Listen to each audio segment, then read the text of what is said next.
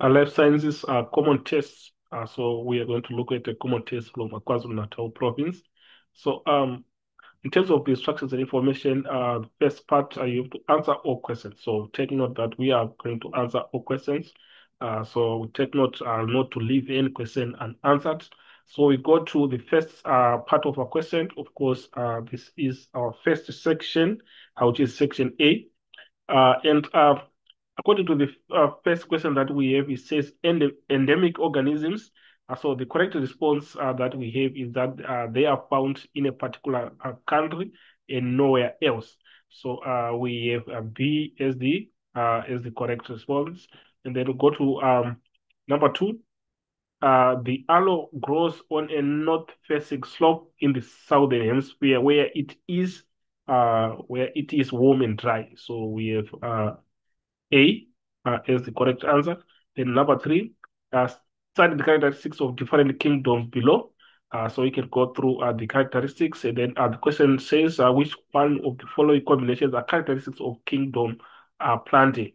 So of course, uh, with the responses uh, that we have, you see that D is the correct one, uh, which is two and four. So uh, we are saying uh, two and uh, and four. So we are having that uh, on uh, we're having that on on uh, on on D. So D becomes uh, the correct. So we are saying I have cells uh, with cells and I have chlorophyll.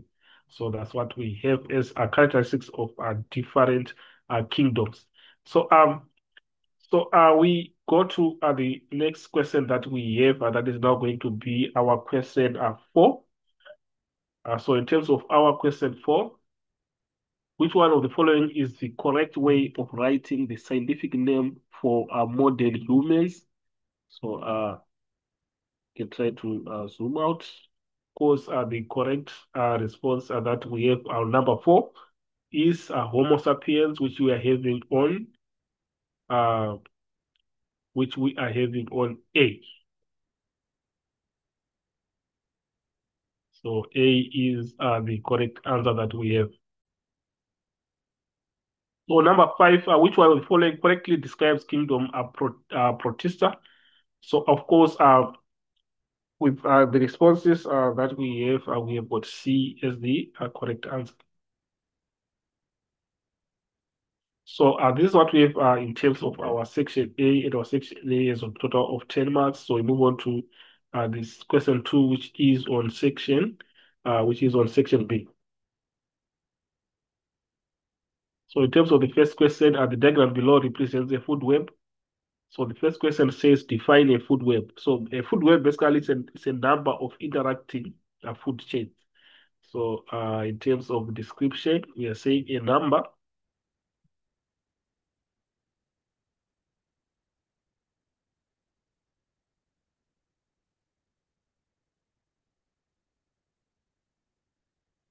of interacting food chains. So this is the description of a food web. Uh, so we have uh, that uh, basic description uh, in our other section of a food web by saying uh, on this part, there's a number of interacting uh, food uh, chains. So that's what we have. So um, moving on to the next question that we have is now what 2.1.2. Why is uh, the seaweed regarded as a producer in this uh, food web? So we have got the seaweed here. And why is it uh, regarded uh, as a uh, as a producer? It's because obviously uh, it produces uh, its own food. Uh, it produces its own food rather than others which are depending on um, on, on on the other food. So that's basically the reason why the seaweed is regarded as a producer. So we have also that description is in our answer section 2.1.2. Uh, it is um, autotroph autotrophic uh, or can produce its own food. So this is uh, the response that we have on that part. Then we go to uh, the next question. Uh, on the next question, it reads, uh, from the food web, name one secondary consumer, name, name herbivore, name secondary uh, secondary carnivore. So in terms of secondary consumer, we can go there and check which one is uh, the secondary consumer. So in terms of the second, secondary consumer, you can see that we can have them uh, at this stage, uh, whereby we've got the octopus, uh, we also have uh, the crab, uh, or we can also have the starfish. So that's where we have got secondary, uh, secondary consumer. So uh, those are the ones that we have as secondary consumers. Then um, in terms of the second part, uh, we're supposed to identify the herbivore. Uh, so herbivore, obviously, uh, they uh, they they consume uh, the uh, the vegetation. We have got uh, the uh, limpets, and then we have also have got the periwinkles as the uh, uh, herbivores. So uh, that's what we have on this part as herbivores. So uh, this one represents our our B on this part, and then uh, we have got our A uh, being represented on this part because our A is the secondary consumer. Then we go to uh, the next one is second. Uh, uh, the next one is secondary carnivore. So uh, secondary carnivore becomes the last uh, part that we have where we have our our seal. Uh, and then also have uh, this is also as our uh, secondary carnivore. So this now is representing our C in this part. So basically that's what we have, and we have uh, those uh, answers is also summarized in our answer section, as we are saying our A, our B, and our C. So basically that's uh, what we have for that part. Then we move on to uh, the next question that we have, which is now uh, 2.1.4. Uh, 2.1.4 says uh, name two uh, decomposers are normally present in any ecosystem. Uh, name two decomposers normally are present in any ecosystem. Uh, so you'd see that uh, on that part, uh, you can uh, include bacteria. Uh, bacteria is uh, one of them. So we have them also as uh, in, listed in our other section where we've got the fungi and then we've got also the bacteria. The fungi and then bacteria is a part of that. Then uh, we move on to the next part, whereby we go to 2.1.5, construct a food chain from the food web that contains four trophic levels and includes uh, the uh, uh, the uh, the periwinkles. So uh, it has to be uh, four. It has to yes uh, to have four uh, trophic levels. So uh, of course you can construct a, a food web whereby uh, you have got the seaweed, and then from the seaweed it goes to the aperi, peri, uh, periwinkles. So we can see that uh, from the direction that we have, we have got sea, uh, seaweed, periwinkles, and then we have got the crab. Uh, then from the crab, we've got the sea, uh, seagull, which is on this part. So this can be a food web that you can come up with. So um, in terms of that, we also uh, have that is summarized in another section whereby uh, we have the seaweed on this part, and then it goes to the periwinkles, and then it goes to uh, the octopus, and then we've got the seal. That's the last part. And or alternatively, you can come up with an alternative uh, food uh, web as indicated. So uh, this is uh, what we have on that part. Then we move on to the next question. Assuming that the food chain you drew in question 2.1.5 is the only one that existed in an ecosystem, describe what would happen if all the periwinkles died. So uh, what do you think will happen uh, if all the uh, periwinkles are died? Uh, so if the uh, if the periwinkles uh, dies, uh, so we are going to have a, a, a larger population of the seaweed because the periwinkles are de are, are depending on the uh, on the seaweed. So if uh, if, if uh, the periwinkles dies, it means uh, this one population of this one will increase. Uh, we are going to see an increase, and then uh, we are also going to see a decrease in octopus because octopus is also uh, eating the uh, periwinkles. So a decrease on octopus, but an increase in seaweed. So that's exactly how we can come up with that explanation. So uh, this exactly is uh, articulated in the answer section on this part. uh, an increase uh, in the seaweed population and then a decrease in, in the crab population. And then also you can explain this in the point of view of a decrease in the sig uh, seagull uh, population. So uh, this, these are the alternative explanations uh, that we have for that part, which is uh, that part that we have. Then moving on to the next question, which is now going to be uh, 2.1.7. Consider the energy flow shown uh, in the food chain below. Uh, of course, uh, this is uh, the energy flow, and then they say calculate the percentage of energy that is passed on from limpets uh, to the starfish. So we see that uh, from the limpets uh, to the uh, starfish. So this is the part that we have. So um, on our calculation, uh, we are going to say the 600 of the starfish uh, over the uh, 7,000 of limpets. Uh, and then you multiply by 100. So we calculate it like that. Uh, you are going to leave it as a percentage, which is going to be 8.57. And of course, uh, if you uh, round it off uh, to the nearest whole number, it becomes 9%. It becomes 9%. So this is uh, what we have on that part. So uh, moving on to uh, the next question is now question three. Uh, it reads the graph below shows the results of an investigation carried out to determine the water holding capacity of different soil samples. Uh, so this is what we have. And then uh, for this investigation, identify the dependent variable. So which one is uh, the uh, dependent uh, variable? Uh, it means its values are, are depending on another uh, on another factor. So in that case, uh, we see that uh, the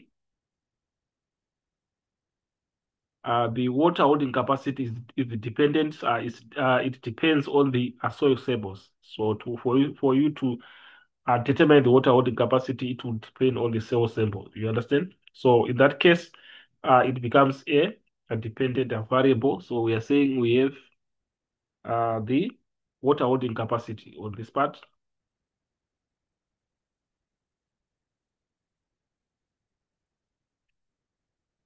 Water holding capacity. Then in terms of independent variable now, uh, soil samples are not uh, depending on anything. So we have soil samples as uh, independent. So soil samples are becomes independent and variable. So this is what we've then our next question, what is the water holding capacity of silt loam? Uh, we come to silt loam, we see that we've got silt loam on this part. And uh, if you go up, uh, you'd see that uh, we have uh, at this point, that's where we've got silt loam. So if you go straight this side, you see that it is 25 on this point. 25 um, milliliters is indicated uh, by the vertical axis description. What about the capacity in milliliters, so we've got 25 milliliters. So basically that's what we have. So we are saying uh, on this part, we have got 25 milliliters. Then our next question, which soil type is lowest water holding capacity? So we can easily detect there which one is got lowest, lowest which is sand, which is, is got the lowest bar. So sand on that part.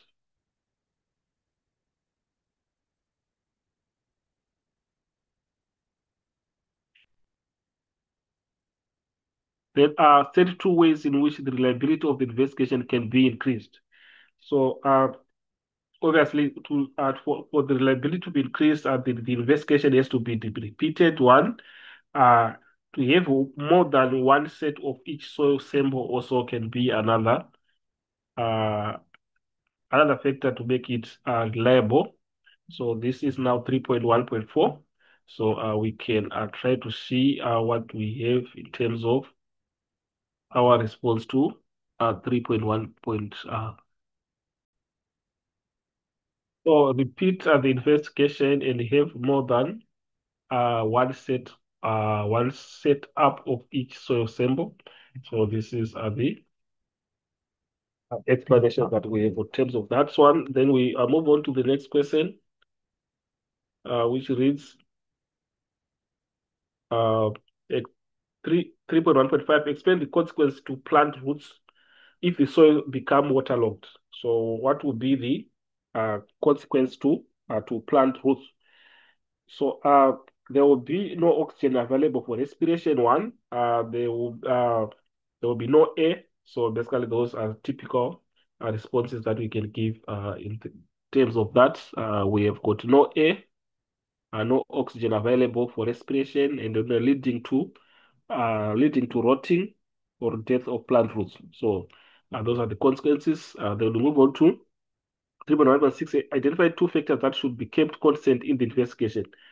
So uh, equal amount of water in each soil type uh, is another factor. Uh, same amount of soil, soil type again, another factor that can be uh, maintained constant. Uh, so these are the points that we have on that part.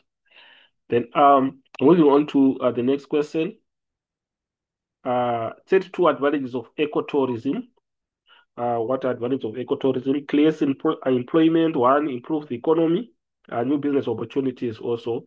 Uh, the uh, are the points that we can raise in, in terms of that. So we have at those points as I mentioned in our answer section. And then uh, we move on to the next uh, part of our question. Uh, of course, uh, this is the end of our section B. Of course, we have got our section C. Uh, we have got question four, describe the nitrogen cycle and the carbon cycle. So uh, pertaining to uh, that uh, nitrogen cycle. So these are the points on nitrogen cycle. On this part, uh, we are saying nitrogen are fixing bacteria and are lightening. And we also have convert uh, convert N2 into a nitrates, and the nitrates absorbed by plants and are used are used to make plant uh, proteins.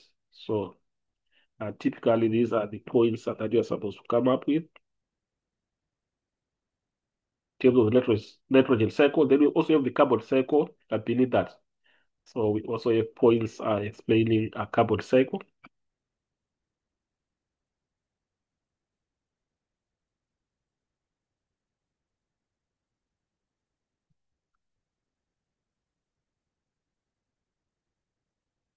So on the carbon cycle, uh, we are saying a carbon dioxide produced uh, during respiration is released into the atmosphere, uh, which is used by plants for photosynthesis, uh, used to produce organic compounds. Uh, excess organic compounds are stored in the plant body. So that's what we have on the carbon cycle. Of course, we've got further points that are also there. Then uh, this becomes the uh, last part that we have in terms of our question paper. So uh, thank you for listening and hopefully the video was helpful. And let's not forget to subscribe and share to our channel and share the link to our colleagues who are doing the 10 life science. As for this video, I'm out.